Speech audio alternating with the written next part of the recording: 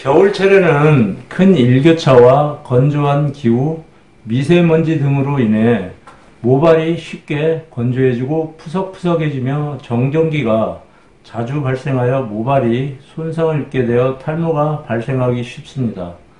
또한 추위에 노출되면 두피의 모세혈관이 수축되어 모발에 산소와 영양분 공급이 감소되어 탈모가 발생하기도 합니다. 또한 두피 표면이 건조해지면 비듬이 증가할 수 있습니다.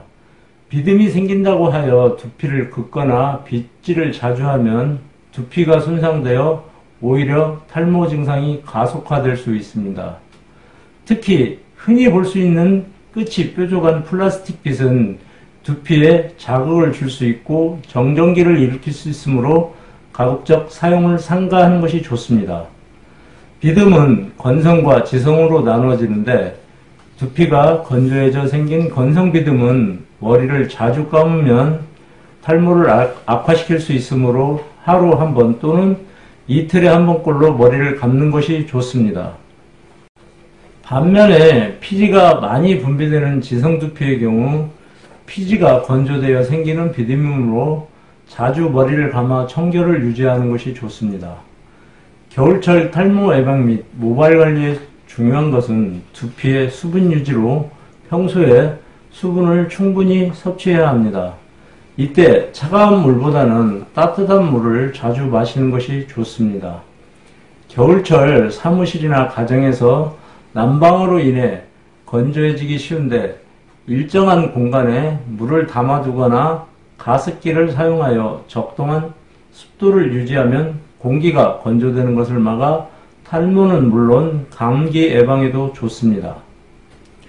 장시간 외출하거나 등산 등 야외 활동을 하는 경우에 모자를 착용하면 겨울철에 많은 미세먼지나 추위로부터 두피를 보호할 수 있으며 두피의 수분을 유지할 수 있는 장점이 있습니다.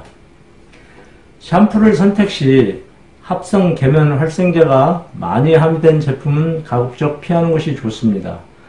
모발을 세척하고 피지 및 불순물을 제거하는 합성 계면 활성제 중에 소듐 lauryl sulfate 성분은 활성산소를 증가시키고 모발 세포를 파괴시켜 탈모의 원인이 되기도 합니다.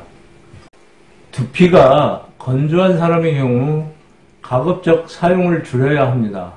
만약 사용할 경우에는 단시간에 사용하고 말끔히 헹궈내는 것이 좋습니다. 또한 머리를 감고 말릴 때 헤어드라이어 사용을 줄여야 합니다. 헤어 드라이어는 전자파가 많이 방, 방출되는 전자제품 중의 하나입니다. 전자파가 두피에 노출되면 활성산소가 많이 발생되어 탈모의 원인이 되며 두피를 건조하게 만들 수 있습니다. 따라서 사용 시 두피에서 20cm 떨어져서 이용하고 찬바람으로 머리를 말리는 게 좋습니다. 권장하는 음식으로는 겨울철에 쉽게 구할 수 있고 값이 싼 귤이 있습니다. 귤은 비타민C가 풍부하여 모발 성장을 도와줄 뿐만 아니라 과잉 생산된 활성산소를 감소시켜 탈모를 예방할 수 있고 수분을 보충하여 두피 건강에 도움을 줍니다.